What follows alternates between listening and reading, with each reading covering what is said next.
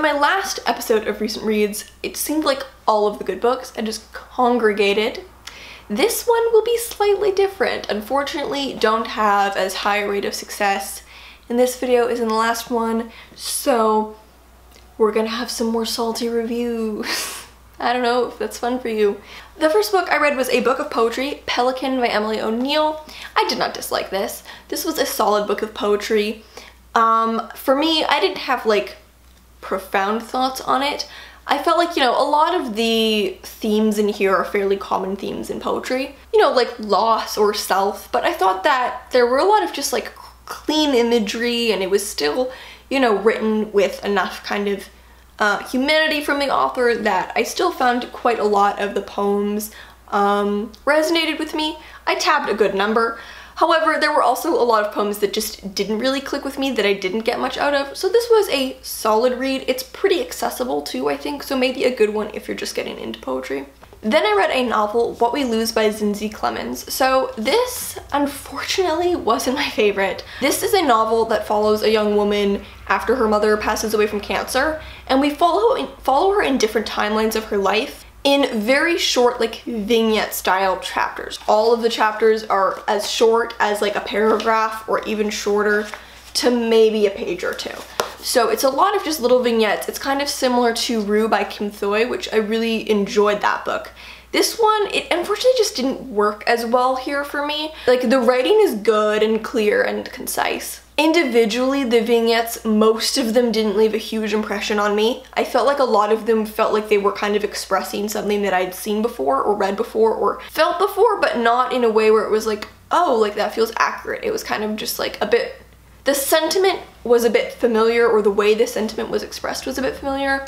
Most of them didn't resonate with me individually and they also didn't really cohesively come together to create something kind of greater than the sum of their parts, unfortunately. I feel like in order to write a book with this kind of style, your individual vignettes need to possess a lot of insight and I just didn't really get that here. If you're writing this kind of book, ideally by the end, even though there's not a clear linear narrative, you want to feel like you've really come to know the character through all these fragments and I didn't really feel like I understood her that much better than at the beginning. So then I read a short story collection, The Dead Husband Project by Sarah Mae. This was kind of just like a middle range, solid three star collection for me in that it's well written. I thought the writing was really interesting. The stories, a lot of them had really interesting concepts. But the stories I really liked and the rest of them were kind of just like a bit average in that I didn't dislike them, but I didn't necessarily feel like I took that much away from them. Some of the stories in here are really bizarre and I think the ones that toed the line between reality and surrealism or just really bizarre ones. I thought those were the strongest. It's been like maybe a month or two since I read this or maybe two months since I read this and I've honestly kind of forgotten all of the stories by now. They kind of just all blurred together.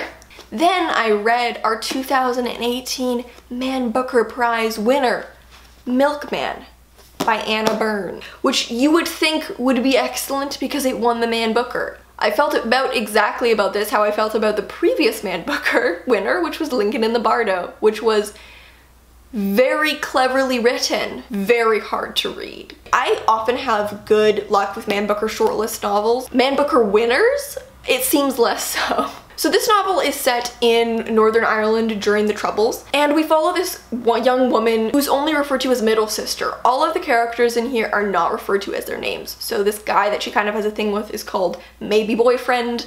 Her other siblings are referred to as kind of where they are in the family, like middle sister or eldest sister or whatever. Um, there's a character called Somebody McSomebody, and then there's also this character called the Milkman. What happens is she has these few very weird encounters with this character called the Milkman. As a result, um, a lot of very dangerously implicated gossip starts to be spread around her when people think that she's having an affair with him. She's like 18, it's first person retrospective. I picked this up because I went to Belfast earlier this summer, spring. It was spring, it was April. Time flies. I really like reading books about places I've been to. If I travel somewhere, I really like to read a book set there. And so when I saw that this was set in Northern Ireland, I was like, I've been to Northern Ireland. I have very mixed feelings about this novel because I feel like there is so much to admire. The main character is a character I've never seen before, which is like Criteria number one for an excellent novel, in my opinion, is a really interesting main character. Really interesting main character. The series of events is really interesting. The voice is where I have mixed feelings because the writing style clearly had a lot of thought and care put into it. It's basically a stream of consciousness, but it's so dense. So we're dealing with basically every single page looks like this. No paragraphs. All of the dialogue is smushed together. It really is meant to accurately fully reflect her way of thinking. This character, she is so interesting, but at the same time, we'll be like in the middle of the scene and then she'll fly off for four pages and like these are long pages. Like this isn't four pages, this is like four pages. She'll fly off for four or more pages on a series of unconnected tangents. And then eventually we'll come back to the scene and I'll be like, oh my god, I forgot that something was actually happening. Like most of this book is tangential. Very few things actually happen. Most of it is just her going off in her brain. It's very easy to lose track of where you are. The writing itself is very dense. It moves so slowly. This is the kind of book that where I was reading, I would have to set like page count goals. I would have to be like, I'm going to sit down and read 40 pages because if I didn't, I would have never finished the book. So in a way, I really admire the voice because I think the language is so interesting and line by line, it's wonderful. It's it's clever. It's uh, eccentric. So it's one of those books where like I would rate it very highly in terms of plot and character and skill, but very low in terms of readability.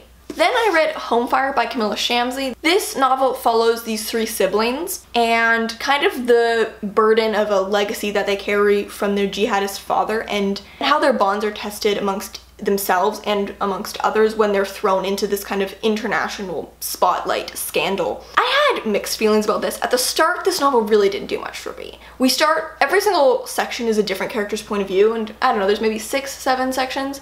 We start with Isma, and her point of view just did not grab me. I was like, what? Nothing is happening, this isn't a story yet. And then we get to the next perspective, and it's like, we could have completely not had the first one. Like, the first chunk of this book was literally just to introduce a character. The opening section just seemed so inconsequential, and so I was really like going into the next section, I was like, I'm not that interested in this storyline because there isn't really a storyline happening right now. As the book went on, I got more and more interested. The stakes started to really rise.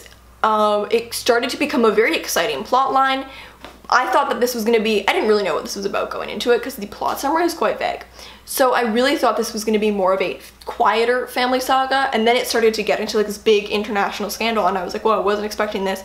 So the stakes really shot up very fast and it became more exciting. But I just never really left much of an impression on me. Only one of the characters, and that was Aneeka, felt really developed and interesting and clear on the page. The others, I just never really felt like they were that deep. And so as a result, this really just didn't leave much of an impression on me. Like it just felt like kind of a ah, I feel bad. This seems like a mean thing to say, kind of a forgettable novel. This book, and maybe this isn't fair to say because maybe this is just me going, if this were my book, I would have written it like this. But I think that the relationship between Parvez and Aneeka was by far the most interesting aspect of the book. And I think that if the book had kind of fully been rooted in their points of view, much more narrowly focused on just their relationship and not kind of the more superficial like I think it would have been quite a strong novel because I think that that relationship was actually very interesting and those two characters were quite interesting.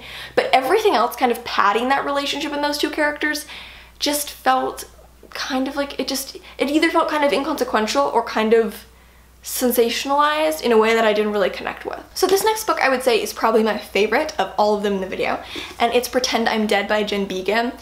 This is a novel that follows this young woman named Mona. She's a cleaning lady. She's been a cleaning lady her entire life. She's kind of a disgruntled, offbeat, kind of unlikable young woman, which is why I loved her. she has this relationship with this man who she only refers to in the narrative as Mr. Disgusting. Near the end of their relationship, he says to her, like, you should just go restart. Like, you should move to this weird place in New Mexico and you should restart. And so after their relationship ends, she feels like she decides to do that. So we follow her kind of restarting her life in this weird town in New Mexico and just the weird interactions she has with some of the people around her. What I loved most was Mona. One of the things I value most in a book is just a really interesting perspective and a really interesting main character. When I read a book and I feel like the main character is one I've seen before and they're just not very vibrant, I'm like, why am I reading the story? Like, I really want to read a perspective that's someone I've never encountered before. I feel like a protagonist should earn being a protagonist by being a character we've not seen before. And Mona definitely was that, and I, I liked that I felt like the author wasn't afraid to just make her quirky and weird and unlikable. She's not a nice person. She's not a good person. She's not a terrible person. I just felt like she was written with this kind of like honesty and all of her flaws that are very plain made her so interesting. I really love really flawed characters who might be unlikable people, but make really likable characters. So she was a really great narrator. Her perspective was so interesting, I really admired. Like the sarcasm, it's very darkly comic, I found it quite funny at points. My only issue was that it kind of felt a little episodic, like there aren't many chapters, there's a few sections, and each one kind of just centers around her relationship or interaction with another person. So you know, we see her Mr. Disgusting in the first one, and then we see her new neighbors, and then we see who are weird, and then we see this guy that she cleans for, and then we see this other woman that she cleans for.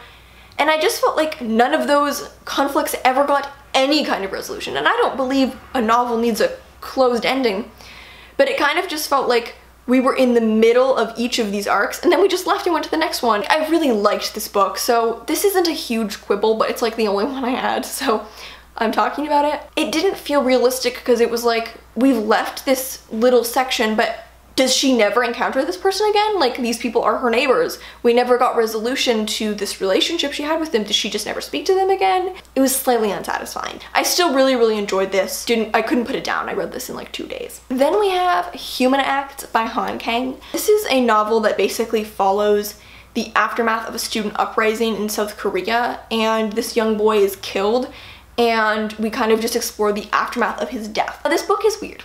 It's super weird. Han Kang weirds it up in her work. I admire, I respect. All of the different sections are in different point of views. Some are in second person. One of them follows the point of view of like a recently dead soul. And it's like a soul that's like in a pile of, the body is like in a pile of bodies. It's wild. This book is very gruesome. There's a lot of like really gruesome, gory stuff. So I really liked the playfulness of the form. It's weird to call this book playful because it's quite dark, but it just was so inventive formally, which I thought was really cool. The only thing was I just never really felt like that connected to the storyline or the characters or like it really was that cohesive. Like the thread is this boy's death. And that should be enough, I feel like, to tie it together, but I just didn't feel like it was. Maybe just because I didn't feel like I ever really got emotionally invested in really any of the point of views. Next up is a book that I have some hot takes on. So go make yourself some tea, come back. I have some stuff to dish. So the next book that I read is Putney by Sofka Zinovieff. I went into this expecting it to be a controversial novel. This is a novel about the relationship between this girl who is like 13 and a grown man and the story is kind of looking back on this relationship and seeing how it affected her as an adult. So obviously, anytime a book is literally about pedophilia, it's going to be controversial. And that's why I picked this up because as a writer, I wanted to see how another writer handled maybe the most controversial subject matter that there is. I don't intend on writing about pedophilia. It wasn't the specific topic. I just wanted to see how an author would handle something really sensitive. And unfortunately, the answer here was not that well, but it's not for the reasons you might expect. It's not that I thought the book was insensitive. I kind of felt like the author, and again, I don't want to project onto the author because I don't know what she was thinking. And maybe this isn't what she was thinking.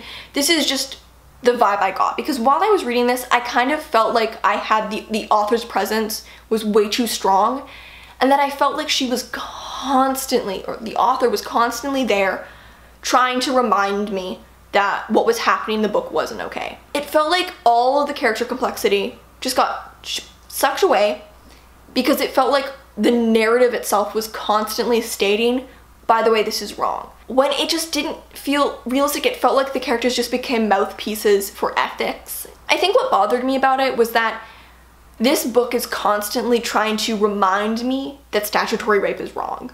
I know. At first I just thought it was kind of weird, but eventually it started to annoy me because I was like, I literally feel like the author doesn't trust me to know that statutory rape is wrong. Like, I know that.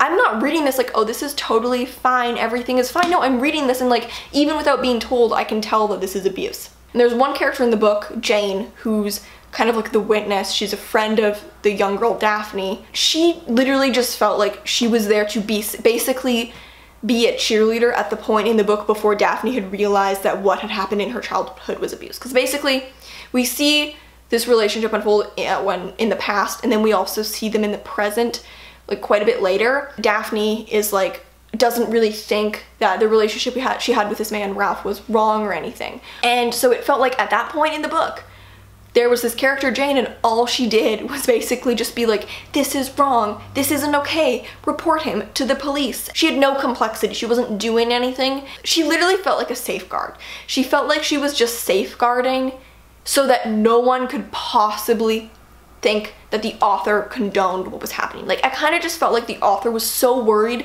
that people would think she was condoning the subject matter that she just had constant safeguards explicitly stating that what was happening was wrong and it made the characters feel really flat because it was like they were just so overtly aware of the ethics of their situation and instead of being complex people with like complex emotional responses to things they were just reduced to kind of safeguarding the owns the storyline there was a good takeaway like i read this to see how an author would handle something really sensitive I wasn't expecting it to be handled this way. It kind of made me realize that sometimes over being overly cautious can be just, just as weak a way to represent a topic as not being cautious at all. Because I just felt like there was absolutely no faith in the reader. And most of all, I felt like it kind of felt like the author was scared to write the book and she was scared of how people would react to it. Which I understand, but I don't know, it's just so authorial. I'm gonna stop rambling now. I'm just circling the same point over and over again. The writing itself was pretty good. I thought there was some pretty good prose and sense of place and time. Then I read another book of poetry, Girls Are Coming Out of the Woods by Tishani Doshi. This is a book of poetry that really explores like womanhood, cultural identity, body, violence, and a lot of the time with like a mythological kind of take. So this seemed like right up my alley. This seemed like everything I would like. And I enjoyed it, but I just, I guess, didn't resonate with it super fully. It was interesting subject matter and interesting language. I kind of just felt like it was not super accessible. And like, I don't want to make it seem like I think it should be dumbed down or anything. Because this, I admire like the language and everything. I think it was more like emotionally inaccessible. Like I felt like I wasn't really fully just given emotional access to a lot of the feelings. I don't really know how to describe that or why, that's just kind of how I felt while reading it, but I still enjoyed this and I do really admire a lot of the language and like the structures of the poems and everything, and there were a few pieces that were um, quite highlight pieces. So the final book that I read is one that had been recommended to me so many times, and it's Everything Here is Beautiful by Mira T. Lee. This is one of my other favorites from this video, along with Pretend I'm Dead.